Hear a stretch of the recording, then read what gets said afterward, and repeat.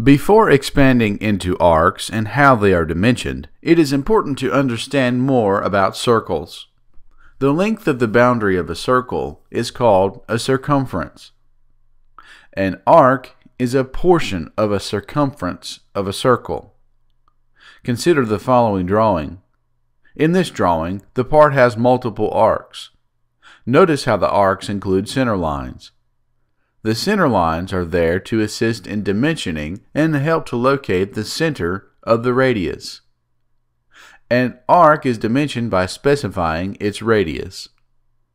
A radius is exactly one half the diameter of a circle.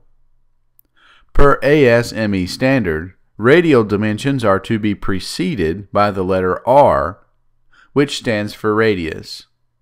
The use of center lines is not a necessity when other part features or dimensions control the radius.